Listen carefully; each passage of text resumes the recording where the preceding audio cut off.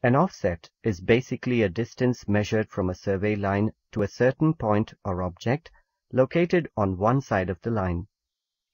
Offsets are taken to know the distance between a survey line and a point or an object. For example, on this plan, let us take a look at how we can know the distance from the baseline to each of the points A and B. As there are no obstacles between the baseline and A, you simply need to run a line from the baseline to the point A. so that it is perpendicular to the baseline. This perpendicular line is called the perpendicular offset.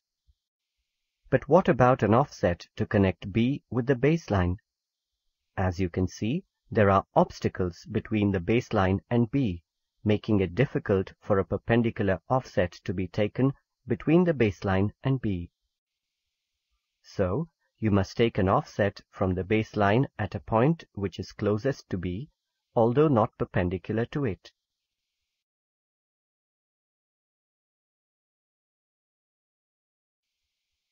Such an offset is called oblique offset. So, remember, the two types of offsets are perpendicular offset and oblique offset. The perpendicular offset is taken when there are no obstacles in between from the baseline, and the oblique offset is taken where there are obstacles in between.